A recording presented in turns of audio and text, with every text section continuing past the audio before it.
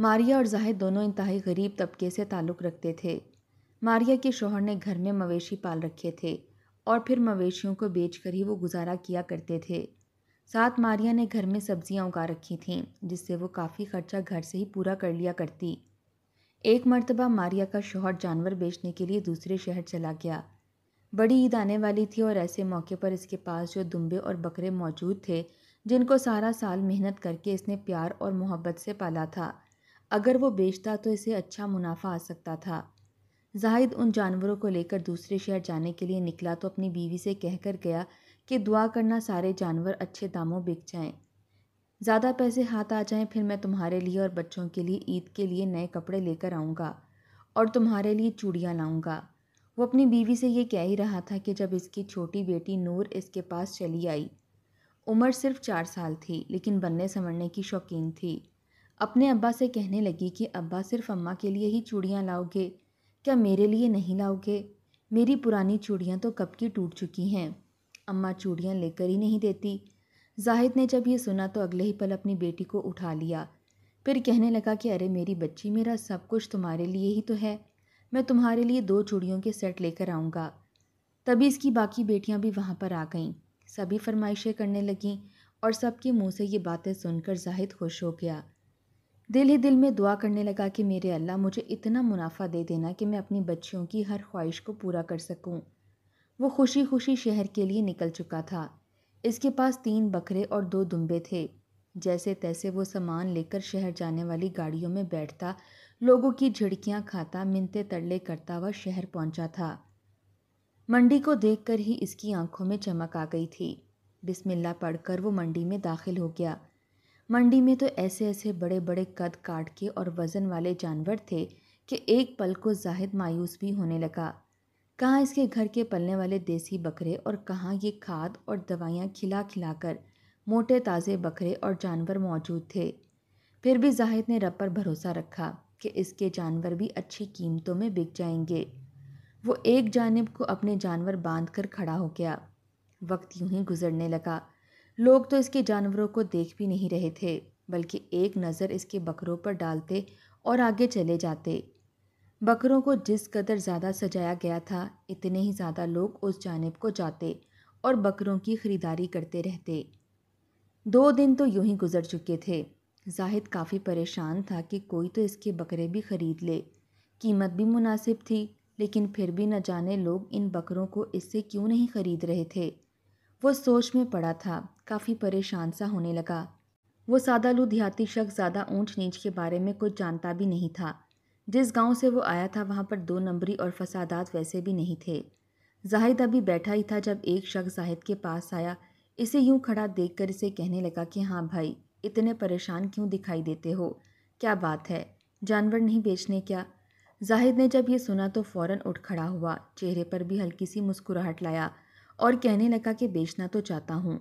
लेकिन कोई मेरे जानवरों की तरफ़ ध्यान ही नहीं देता। सब इन चमकीले, भड़कीले बकरों की तरफ़ जाते हैं, जिनको खूब रंगो रोगन किया गया है, जिनको सजाया गया है, और मैं गरीब बंदा जिसने सारी मेहनत बकरों को अच्छा खाना खिलाने में लगाई है, ताकि इनके गोश्त में किसी किस्म की बीमारी ना हो। आखिर को कुर्बानी के लिए इस्तेमाल होंगे, लेकिन कोई ध्यान ही नहीं दे रहा। यह सुनकर वो शख्स मुस्कुराया, फिर कहने लगा कि, अरे भाई जब तुम अपनी शक्ल ही मुरझाई हुई रखोगे और एक कोने में बैठकर ये मंजर देखते रहोगे तो भला कोई क्यों तुमसे ये चीज़ें खरीदेगा? चेहरे पर मुस्कुराहट रखो, अपने जानवरों की झाड़ फूंक करो। जैसे बाकी लोग कीमतों की आवाज़ें कस रहे हैं, तुम भी कसो। फिर देखना, कैसे तुम्हारी ईद हो जाती है। इतना सुनकर जाहिद भी मुस्कुरा उठा। वो शख्स इस मंडी का मालिक था। इसने जब जाहिद को परेशान हाल देखा तो थोड़ा बहुत इसका हौसला बढ़ाने के लिए आ गया था। इसके बाद जाहिद भी ऐसे ही करने लगा। जब भी कोई पास से गुजरता तो वो अपने जानवरों की इसके सामने नुमाइश करने लगता, खूबियाँ बयान करने लगता। तभी एक शख्स जाहिद के पास आया और इससे इसके जानवरों की कीमत पूछने लगा। जब जाहिद ने सभी जानवरों की कीमत बताई तो वो शख्स खुश हो गया। कहने लगा कि मैं बहुत अमीर सेठ हूँ और तुम्हारे जानवर क्योंकि बिल्कुल देसी हैं और अच्छी तरह पाले गए हैं। इनको तुमने किसी तरह का कोई इंजेक्शन भी नहीं लगा रखा। इसलिए मैं चाहता हूँ कि तुमसे ये पाँचों जानवर ख़रीद लूँ। इतना सुनना था कि जाहिद की खुशी की कोई इंतहा ना रही। वो तो अपने रब की ज़ात का शुक्र अदा करने लगा कि इसके जानवर तो एक साथ ही बिकने वाले हैं। जब पैसों की बात की गई तो जाहिद ने जो रकम कही थी, वो रकम उस शख्स ने जाहिद के हाथ पर रख दी। जाहिद बहुत खुश हुआ था कि आज तो इसकी लॉटरी लग गई है। इसने खुशी खुशी इन पैसों को अपने पास मौजूद कमीज़ की अंदरूनी जानब खुफिया जेब में डाल लिए। और फिर ये सोचते हुए मंडी से निकल आया कि इस मरतबा तो अच्छी कमाई हो चुकी है। अब सबसे पहले जाकर होटल में खाना खाऊँगा और फिर बाज़ार में जाकर अपनी बीवी और बच्चियों के लिए कपड़े और खिलौने लूँगा। वो खुश था, आँखों में खुशी से एक चमक थी। वो एक होटल में गया और लोगों को देखा। कोई मुर्गा खा रहा था तो कोई कढ़ाई बनवा कर खा रहा था। किसी ने बकरे का गोश्त खाने के लिए मंगवा रखा था। जाहिद का भी जी चाहने लगा कि वो भी गोश्त खाए। न जाने कितना अरसा गुजर चुका था कि इसने गोश्त की शक्ल तक नहीं देखी थी। मुँह में पानी आने लगा था। इसने बैरे को गोश्त ऑर्डर करने का भी सोचा, लेकिन फिर ये सोचकर इनकार कर दिया कि न जाने मेरी बीवी और बच्चों ने आज हांडी बनाई भी होगी या नहीं। ये ना हो कि बीवी मेरे जाने के बाद हमेशा कितना बच्चों को चटनी बना बना कर ही रोटी खिला रही है। अगर वो ये सूखी रोटी और चटनी खा रहे हैं तो भला मैं कौन होता हूँ? इनकी गैर मौजूदगी में गोश्त खाने वाला। इसने वहाँ पर दाल रोटी ऑर्डर की थी। पेट भर कर खाना खाया। जब पैसे देने की बारी आई तो अपनी जेब से पैसे निकाल कर इसने बैरे को दिए। बैरे ने जैसे ही नोट देखा तो अगले पल इसके माथे पर बल पड़ गए। फ़ौरन होटल के मालिक को बुलाया और कहने लगा, उस्ताद जी, ये नोट देखो। ये नोट मुझे तो नकली लग रहा है। जाहिद ने जब ये सुना तो इसके माथे पर बल पड़ चुके थे। कहने लगा कि, अरे भाई ये क्या कह रहे हो? नकली कैसे हो सकता है? मेरे हक हलाल की कमाई है। लेकिन जब होटल के मालिक ने इस नोट की जाँच पड़ताल की और लोगों को दिखाया सबने यही कहा कि ये नोट तो नकली है। देखने में ही नकली लग रहा है। ये सुनकर तो एक पल को जाहिद को धचका सा लगा था। इसने तो ये नोट उन पैसों से निकाल कर दिया था जो पैसे इसे वो शख्स बकरे खरीदने के बाद देकर गया था। वो घबरा सा गया, थोड़ा परेशान भी हो गया। अगर एक नोट ऐसा था तो बाकी नोट फिर कैसे थे? ये सोच सोच कर वो काफ़ी घबराने भी लगा था कि जब फ़ौरन पुलिस को कॉल कर दी गई। मालिक तो एक थप्पड़ जाहिद के मुँह पर मार चुका था कि धोखेबाजी करते हो। अरे, ये गाँव के लोग तो होते ही ऐसे हैं। दो नंबरी कर जाते हैं। सब लोग इसे बुरा भला कह रहे थे जब पुलिस वहाँ पर आ गई। पुलिस ने जब जाहिद से तफ्तीश की और इसके पास से पैसों की एक गट्ठी बरामद हुई तो पुलिस ने इसे घेर लिया था। इसे पुलिस स्टेशन ले गई। सवाल करने लगी कि बताओ तुम्हारे पास इतने ज़्यादा पैसे, वो भी नकली नोट कहाँ से आए? जाहिद बेहद परेशान था। आँखों से आँसू बहने लगे थे। किससे मदद माँगता और किसको बुलाकर कहता कि मैंने ऐसा कुछ नहीं किया? कहने लगा कि सर जी, खुदारा मेरे पर रहम कीजिए। मेरे साथ तो खुद धोखा हो चुका है। मैं एक शख्स को अपने जानवर बेच कर आ रहा हूँ। इसी ने ही धोखे से मुझे ये नकली नोट दे दिए हैं। मैं तो सादा सा बंदा हूँ, जानता ही नहीं हूँ असली नोट कौन सा होता है और नकली नोट कौन सा। लेकिन पुलिस वालों ने जाहिद की किसी बात पर यकीन ना किया और इसे बहुत मारा तशद का निशाना बनाया। यही पूछते रहे कि बताओ कहाँ है तुम्हारी वो नकली पैसे बनाने वाली मशीन? तुम्हारे पीछे और कौन कौन मौजूद है? किस किस के साथ मिलकर ये सब कुछ करते आ रहे हो? ये सब कुछ सुनकर जाहिद बेहद परेशान हो रहा था। वहीं जब इतने रोज़ गुजर जाने के बावजूद भी जाहिद घर ना आया तो इसकी बीवी परेशान हो गई। तभी शहर से लौटने वाले एक शख्स ने इन्हें बताया कि जाहिद को तो पुलिस पकड़ कर ले गई है और इसे बहुत मार रही है। वो नकली पैसे का कारोबार करने में मुलविस है। पुलिस ऑफिसर किसी कीमत पर छोड़ने को तैयार नहीं है। जब मारिया ने यह सुना तो फ़ौरन अपने भाई के घर भागी। भाई को लेकर वो पुलिस स्टेशन पहुँची थी। जैसे ही पुलिस स्टेशन में जाहिद ने अपनी बीवी और साले को देखा तो रोते हुए इनके पास आ गया। साले के गले लगकर फूट फूट कर रोने लगा। मारिया ने जब अपने शोहर की यह हालत देखी तो चीख कर रोने लगी। इसके शोहर को मार मार कर लहूलुहान कर दिया गया था। इसके साथ बहुत बुरा रवैया रखा गया था। वो यकीन ही नहीं कर सकती थी कि ये जाहिद है। रोकर कहने लगा कि बस किसी भी कीमत पर मुझे यहाँ से निकालो। ये लोग तो मेरा कत्ल कर देंगे। इन्हें बहुत यकीन दिलाया गया कि जाहिद ने ऐसा नहीं किया। लेकिन जाहिद को छोड़ने के लिए उन्होंने दो लाख रुपए मांग लिए। दो लाख रुपए का सुनना था कि मारिया सोच में पड़ गई। कहने लगी कि मैं दो लाख रुपए लाकर दे दूँगी। मारिया ने अपने रिश्तेदारों से पैसे मांगना शुरू कर दिए। इसने कितने ही लोगों से कर्ज मांगा था और यूँ कर्ज मांग कर दो लाख रुपए इसने जमा कर लिए थे। वो दो लाख रुपए लेकर वो पुलिस स्टेशन आई थी। कहने लगी कि अगर शोहर बचकर बाहर आया तो दो लाख रकम कोई बहुत बड़ी बात नहीं है। जाहिद पुलिस से छूट चुका था। घर भी आ गया, लेकिन नुकसान इतना भारी था कि इनकी ईद रोते हुए गुजरी थी। लोग अफसोस की खातिर इनके घर आने लगे थे, क्योंकि इनका बहुत बड़ा नुकसान हो चुका था। एक तो सारा साल पालने के बाद जानवर भी हाथ से गए थे, फिर जो रकम आई वो भी नकली थी। और अब उल्टा लोगों से कर्ज लेकर दो लाख रुपए के मकरूज भी हो चुके थे। वो बेहद परेशान हो चुके थे। टेंशन ले लेकर जाहिद अपने वजूद पर तशद की वजह से होने वाले ज़ख्मों से तो ठीक हो गया, लेकिन दिल का मरीज़ बन गया। इसे हल्का फुल्का हार्ट अटैक भी आया था। सोच सोच कर वो रोता रहता कि ये सब कुछ क्या हो गया। सादा सा इंसान था। कुछ चलाक भी नहीं था, जो कोई इसकी सुन लेता। जब बीवी ने अपने शोहर को दिल का मरीज़ बनते देखा तो बहुत रोई। इससे तो अब कोई भारी चीज़ उठाई भी नहीं जाती थी। कुछ काम करता तो इसके बाजू में दर्द शुरू हो जाता। फिर बाजू से होता हुआ सीधा दिल पर जाकर लगता तो वो दर्द से तड़प उठता। जब मारिया ने अपने शोहर को इस हालत में देखा तो शोहर से कहने लगी कि तुम अब घर में आराम करो।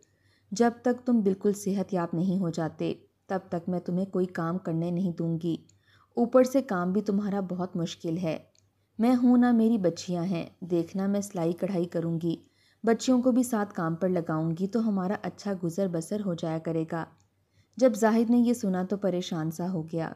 यूँ वो साथ सिलाई कढ़ाई करने लगी, लेकिन आखिर गुजारा कितना होता? अभी ये काम कर ही रही थी कि मारिया के शोहर को दिल की बीमारी के साथ साथ गुर्दों में भी दर्द होने लगा। गुर्दों में दर्द इस कदर शदीद उठता कि दर्द से वो बिलबिलाने लगता। इसके जिसम में तो गोया ताकत ही ख़त्म होती जा रही थी। समझ नहीं आती थी कि आखिर इसे होता क्या जा रहा है। एक रोज़ इसकी ऐसी हालत बिगड़ी कि मारिया अपने शोहर को रक्शे में डालकर अस्पताल ले गई। सरकारी अस्पताल था, पहले तो किसी ने कुछ ख़ास ध्यान नहीं किया। लेकिन जब टेस्ट वगैरह किए गए तो ये बात सामने आई कि जाहिद के गुर्दे फेल हो चुके हैं। दोनों गुर्दे फेल होना कोई मामूली बात नहीं थी। जल्द से जल्द या तो डायलिसिस करवाए जाने थे या फिर एक गुर्दा ट्रांसप्लांट किया जाना था। मारिया का तो रो रो कर बुरा हाल था। लोगों से एक मर्तबा फिर कर्ज लेकर वो अपने शोहर का इलाज करवाने लगी। अपने घर के खर्चे चलाने लगी। खुद रूखी सूखी खाती रहती। शोहर को फल फ्रूट खिलाती ताकि इसकी तबीयत कुछ बेहतर हो जाए। लेकिन आखिर कब तक वो इतना खर्च कर पाती? डॉक्टरों से कहा कि, मेरा टेस्ट लो। अगर मेरा गुर्दा मेरे शोहर से मैच करता है तो मेरा गुर्दा निकाल कर मेरे शोहर को दे दो। ये ज़िंदा रहेगा, कमाएगा तो ही हमारा घर चलेगा। डॉक्टर ने जब मारिया का टेस्ट लिया तो इसका गुर्दा मैच हो चुका था। चार बेटियाँ मारिया की थीं। यूँ इसका एक गुर्दा निकाल कर इसके शोहर को दे दिया गया। वो बहुत खुश थी कि अब मेरा शोहर बिल्कुल ठीक ठाक हो जाएगा। लेकिन घर आते ही कुछ रोज़ बाद वो गुर्दा भी मसला करने लगा। ऐसी दर्द की टीसें उठती कि दर्द से जाहिद बेचारा रोने लगता। इस मर्तबा जब डॉक्टर से चेकअप करवाया तो डॉक्टर कहने लगा कि गुर्दा तो बिल्कुल ही नकारा हो चुका है। इस गुर्दे में भी इन्फेक्शन आ चुका है। अगर आपने इलाज करवाना है तो इंजेक्शन्स लगवाने पड़ेंगे। एक इंजेक्शन साठ हज़ार रुपये का था। ये सुनकर तो मारिया रोते रोते गोया बेहोश हो चुकी थी। जब जाहिद ने यह सुना तो अपने पास डॉक्टर को बुलाया। डॉक्टर को बुलाकर पहले तो कुछ ना बोला, फिर दिल पर पत्थर रखा। डॉक्टर से कहने लगा कि डॉक्टर साहब जब से मैं बीमारियों में जकड़ा हूँ, बस खर्चे ही करवा रहा हूँ। मुझे तो डर है कि मेरी इस बीमारी की वजह से मेरी बीवी कुछ गलत कदम ना उठा ले। आप ऐसा करो कि मुझे जहर का इंजेक्शन लगा दो। मैं मर जाऊँगा तो मेरी बीवी और बच्चियों की ज़िंदगी में भी सुकून आ जाएगा, वरना यूँ ही हमारे पैसे लगते रहेंगे। जबकि ये बात डॉक्टर ने सुनी तो वो भी पहले तो खामोश हो गया। गहरी सांस खारिज कर गया कि हम ऐसा नहीं कर सकते। ये हमारे लिए करना नामुमकिन है। लेकिन जब बार बार जाहिद ने कहा तो डॉक्टर ने जाहिद को इंजेक्शन लगा दिया। इस बात से मारिया अनजानी रही थी कि इसके शोहर ने खुद जहर का इंजेक्शन लगवाकर अपनी मौत को कबूल किया है, ताकि इसकी बीवी और बच्चियाँ जैसे तैसे इसके बाद गुजारा तो कर लेंगी, लेकिन मुझ पर मज़ीद पैसे नहीं लगा पाएँगी। जाहिद इस दुनिया से गया तो चारों बच्चियाँ अपने बाप की चारपाई के पास बैठकर फूट फूट कर रो रही थीं कि इनके बाप का साया इनके सर से छूट गया। कुछ रोज़ तक तो मोहल्ले और रिश्तेदारों ने मदद की, लेकिन धीरे धीरे से वो अपनी ज़िंदगियों में मसरूफ़ होने लगे। कपड़े सिलाई करके आखिर कितना खर्चा हाथ आ जाता। वहीं जब लोगों ने मारिया से कर्ज मांगना शुरू किए तो मारिया मज़ीद परेशान हो चुकी थी। रोती रहती कि आखिर लोगों के कर्ज कैसे उतारूं? इसका जेवर पड़ा था, जो इसने इसलिए संभाल कर रखा था कि चार चार बच्चियाँ हैं और गुर्बत और महँगाई है। ये जेवर कल को थोड़ा थोड़ा करके अपनी बच्चियों में तकसीम कर दूँगी, ताकि जहेज़ के नाम पर कुछ तो इनके साथ जाए।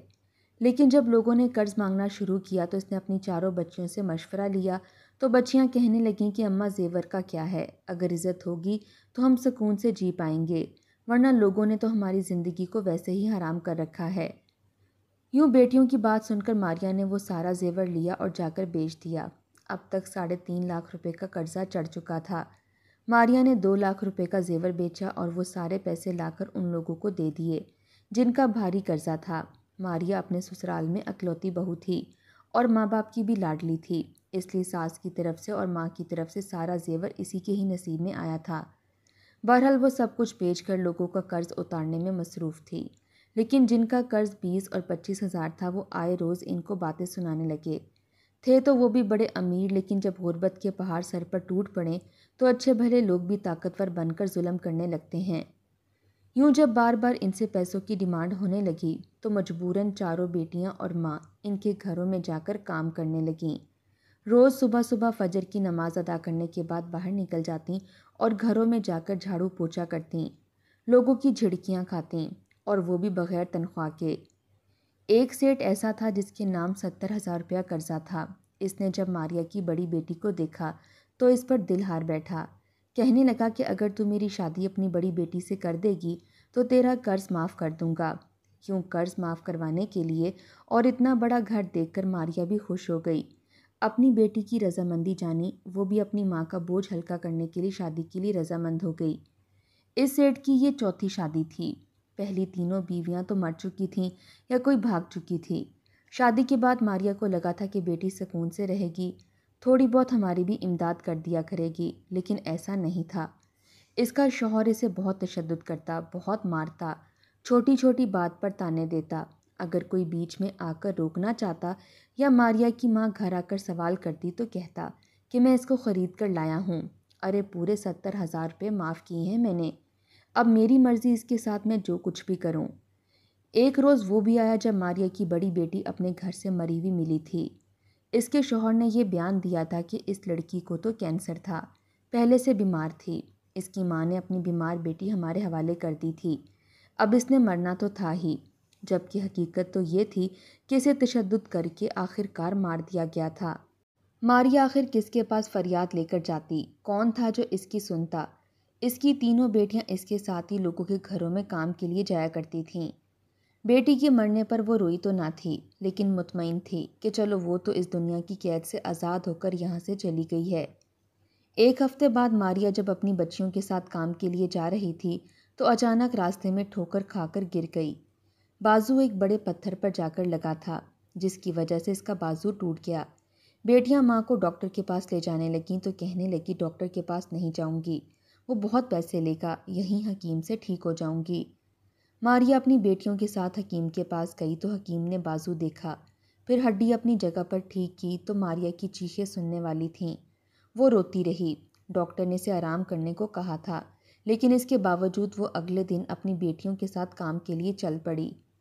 पड़ोस की औरत ने सवाल किया कि आराम क्यों नहीं करती? तुम्हारा बाजू टूटा हुआ है। आराम करोगी तो ठीक होगी। मगर मारिया कहने लगी कि मुझे इस दुनिया पर भरोसा नहीं है। अगर अकेली बेटियाँ घर से निकलेंगी तो न जाने कब कोई दरिंदा इन पर हमला कर देगा। मैं किसी पर भी एतबार नहीं कर सकती। पहले कौन सा मुझे इंसाफ मिला है? जो अब मिलेगा। शोहर और बेटी के गम में घुल घुल कर वैसे ही वो आधी हो चुकी थी। अब नहीं चाहती थी कि इन बेटियों के साथ भी कुछ हो। लोग बेचारी मारिया की किस्मत पर तर्स बहुत खाते थे। मोहल्ले वालों ने मारिया की जवान बेटियों पर तरस खाकर आखिरकार मारिया की बेटियों से शादी भी कर ली। तीनों ब्याह कर करीब गाँव में ही गई थीं, लेकिन फिर भी अपने अपने घरों में खुश थीं। पुरसकून थीं। मारिया भी अपनी बच्चियों को देखकर सुकून में थी। मारिया भी सफ़ेद चांदी बालों में लिए लोगों के बर्तन मांझते मांझते और जूतियाँ सीधी करते करते इस दुनिया से थक हार कर चली गई। मारिया जैसे कितने ही लोग हैं जो मारिया से भी बदतर ज़िंदगी गुजारते हैं। लेकिन फिर भी ज़बान पर शिकवा नहीं लाते। जानते हैं कि ये आजमाइश है। इनकी आजमाइश तभी ख़त्म होगी जब वो अपनी आखिरी साँसें लेकर कब्र में दफन हो जाएँगे, जबकि कुछ लोग ज़रा सी परेशानी पर भी अपने रब से शिकवा करने लगते हैं।